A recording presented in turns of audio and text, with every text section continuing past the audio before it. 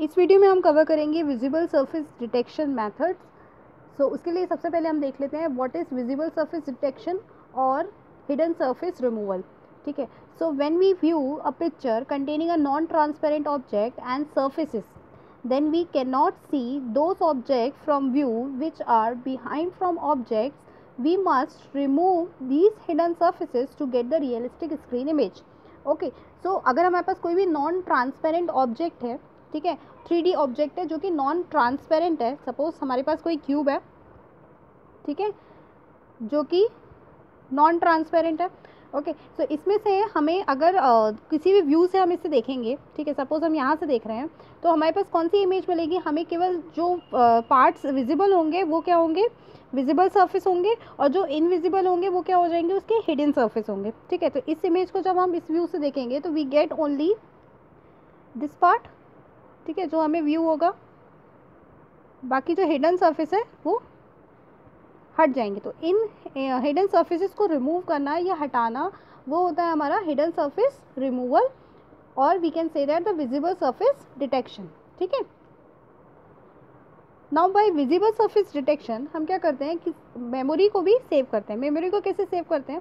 सो so, अगर यहाँ पे जो पार्ट इनविजिबल है अगर हम उसको हटा रहे हैं तो हमारी जो मेमोरी को हम प्रॉपरली मेंटेन कर और हम वेस्टेज ऑफ़ मेमोरी को भी कम कर रहे हैं okay so basically what is visible surface detection is the identification and removal of those surface which are not visible ठीक है? Are call the hidden surface problem and to resolve this problem we uses the method that is called the visible surface detection methods now we have basically two approaches for visible surface detection or we can say the hidden surface identification that is your uh, object space method and image space method. Object space method is used in physical coordinate system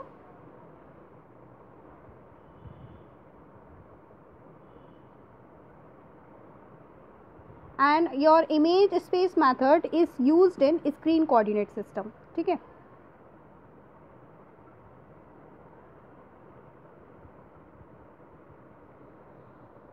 okay now first हम जो cover कर लेते हैं, जैसे is called the object space method so in object space method and object space method compare the object and part of a object to each other within the scene definition to determine which surfaces as a whole we should label as visible ठीक है? तो ये क्या करता है? बाकी जो parts है, पूरी इमेज के पार्ट्स है, उसको कंपेयर करता है आपस में और देखते हैं कि हमें कौन से पार्ट जो है वो विजिबल होंगे और कौन से पार्ट जो है वो इनविजिबल होंगे।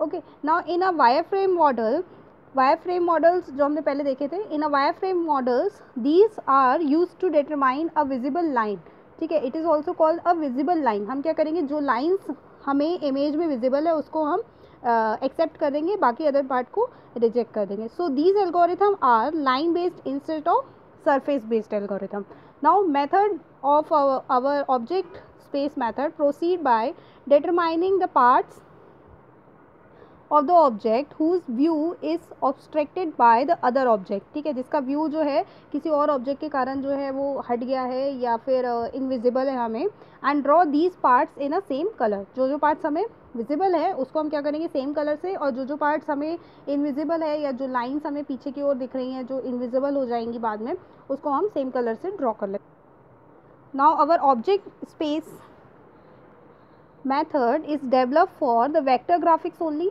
vector graphics only and it is operate on the continuous object data. Now, next method is our image space method. So, in image space method,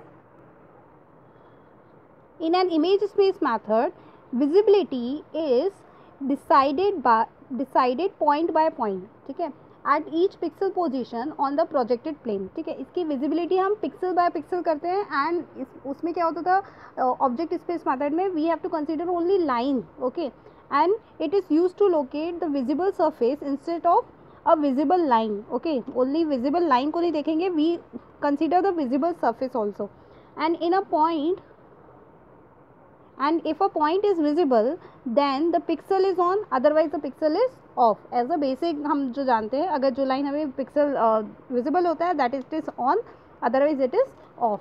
And these are develop for raster devices and जो previously हमने पढ़ा था it is develop for vector graphics and and operate on object data and previously जो हम हमारा था object space method is based on the continuous data only okay तो ये था हमारा तो ये था हमारा विजिबल सरफेस डिटेक्शन ठीक है it is also call the V S D तो बेसिकली हम इसमें क्या कर रहे थे, कोई भी हमारे पास थ्री ऑब्जेक्ट है या फिर कोई भी हमारे पास इमेज है, उसके केवल उन्हीं पार्ट को विजिबल कराना जो कि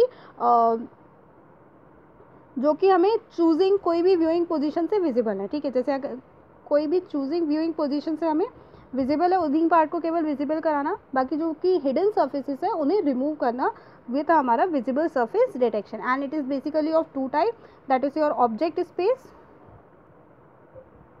and next one is your image space okay and the object space is based on physical coordinate system and the object space is based on screen coordinate system and now we have a different type of visible surface. Your VSD methods are first one is your back face detection okay? Or back face identification back face detection method. Next one is your z buffer or we can say that depth buffer okay? Depth buffer. And next one is your scan line method. Scan line method. Next one is your depth sorting method.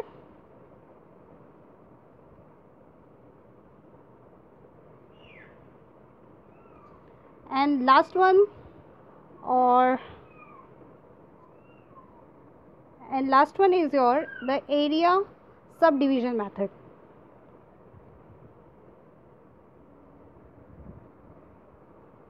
okay so in next meeting so in next video we will cover the back face detection method.